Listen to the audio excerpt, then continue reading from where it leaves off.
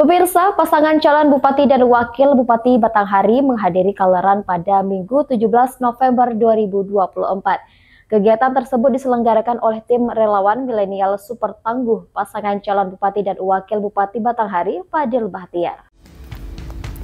Bertempat di alun-alun kota Muara Bolian, relawan tim milenial pasangan calon Bupati dan Wakil Bupati Batanghari, Fadil Bahtiar, menggelar kaleran yang diikuti seluruh relawan milenial dan Gen Z sekabupaten Batanghari.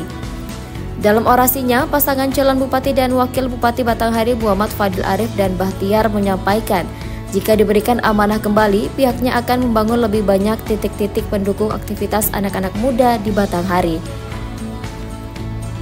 Fadil Bahtiar juga mengatakan ke depan pihaknya akan banyak menggelar event-event yang sesuai dengan keinginan dan kebutuhan anak muda di Batanghari.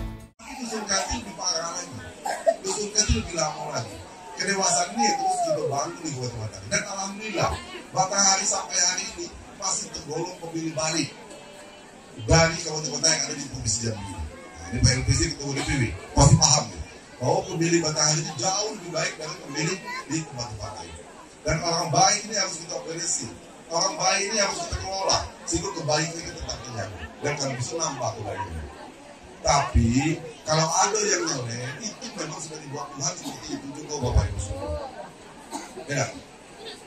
Tak ada pernah berebut tanah dengan Badil, benci dengan Badil. Tak ada pernah berebut jabatan dengan Badil, benci dengan Badil. Tak ada pernah berebut cewek dengan Badil, benci dengan Badil juga. Kan tak bisa gitu.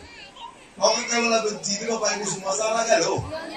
Ya? Nah, kita semua yang salah juga. Itu biarkanlah, jumlahnya banyak abaikan deh jumlahnya tidak banyak di Kabupaten Mandar tinggal bagaimana orang-orang baik itu bisa datang ke TPS sehingga kita bisa mensukseskan pilkada ini. Bisa diajak bertengkar.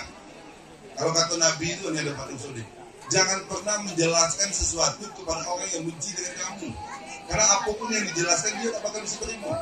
Karena hati ini sudah menutup untuk fakta-fakta yang akan kita beberkan kepada diri nah, ini terus kita bangun Bapak Ibu semua.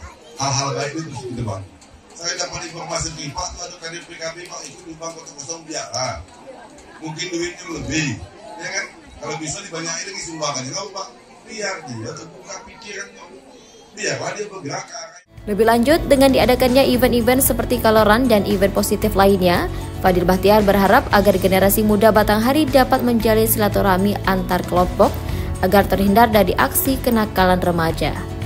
Muhammad Aryuda, Jack TV melaporkan.